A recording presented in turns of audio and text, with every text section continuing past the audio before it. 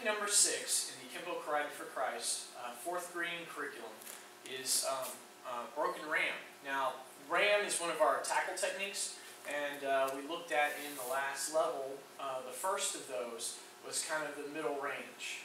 And I talked about how um, you're going to see them set as they'll, there'll be a close range, there'll be a middle range, and then one where you actually advance into them. So this is the close range. Broken ram is as that tackle is kind of being performed.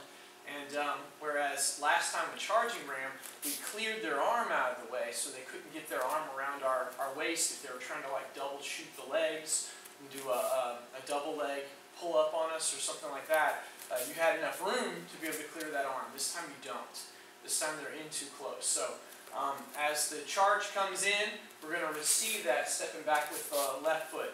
And at the same time, we're going to circle around and we want to use a downward vertical hammer fist with the right, coming right behind the head to the soft spot where the neck and the head meet. So I'm stepping back. This is the left hand will be checking the head, right? Saw that back with uh, striking serpent's head, where we check the head and we hit the back, that soft spot. This time we're checking instead of coming up that way, we're coming down on it. So check the head with the left, step back, and downward hammer fist with the right as they're um, starting to apply this kind of tackling motion. And we don't have enough room this time to clear the arm, so the arm is going to be secondary. First primary uh, objective here is that body rushing in, the, the, their whole person coming at you. So we check the head, step back, hammer fist, uh, catching them there at the soft spot where the head and the neck kind of come together. From here, I'm going to circle around, and we want to now catch that arm. It's coming around the waist, and we're pivoting into a reverse bow as you do an uppercut strike towards 6 o'clock. And what this is supposed to do is a lot like when we did Wings of Silk, and you came out and you're pulling their arm straight, we're hyper-extending their arm, we're not actually punching the arm, we're going uh, underneath it and catching it with the bicep that causes that hyper-extension. So we're doing the same thing here. We pin the head, hammer fist, and then we wrap that arm, locking it straight, kind of creating that whizzer idea from here, what we're going to do is unwind. So wind up, catches the arm, possibly hyperextends it. And then from here we unwind. We're going to release that arm, circling around, making a big circle into a downward hammer fist. That's what the arm's going to do. It steps and goes down, circles, and hyperextends the arm, comes back. That can be a back fist on the way, but that'll be hard to, to work in. But if you're if you're able to, you can have that as a back fist. And as it circles down, it's going to end as a hammer fist strike uh, to the abdomen. Now, in the meantime, the legs, we have to coordinate the circle. So my right arm is making this circle here, and as it comes out and begins to circle in front, I'm going to draw that same circle, only using my right leg to do it.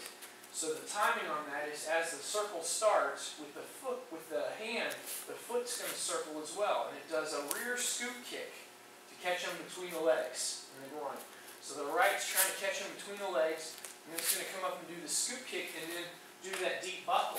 We saw that deep buckling idea uh, back in our uh, blue belt uh, with the pendulum here where we hit the head and scooped under and then did a deep uh, buckling, kind of pushing them away using the leg. This time we're going to buckle in between the leg here, kind of uh, catching their leg, throwing their leg back, and at the same time doing this hammer fist. So it's a buckle and hammer fist together. So, coordinating that arm from catching his elbow, as this arm unwinds, we're catching him between the legs with the scoop kick as it circles, and then doing this hammer fist and buckling the left leg at the same time. Right? Hammer fist to the abdomen and buckle the left leg. And then from there, full cover up. The hardest part on this is just coordinating your hand and your foot to do this circle together. Right? That'll take a lot of practice. I'm going to do the side, give you a better angle here. So after I've done the catch the arm, the circle is one hand's, my, my right hand's coming out and down, my right foot's going up and then buckling. So putting them together, looks like that. That whole right side coming out, coordinating that motion together at the same time is the trick to making broken ram work. And that's an important coordination to learn. You are going to see it in other techniques at a later point. So learning it now will help you, benefit you as um, we start to look at third brown, has some techniques that also kind of use the same kind of coordination. So again, tackles coming in, we catch them, boom, hit behind the head. I'm going to turn, this is the hyperextend the arm that's already gone around my waist. Catching his left arm, hyperextending it straight, and then trying to catch him between the legs, and at the same time, scoop, buckle, and hammer fist, and then full cover out to 6 o'clock. So again, broken ram goes down, hyperextend, circle, buckle, and hammer fist, and out again. One more time, this is broken ram.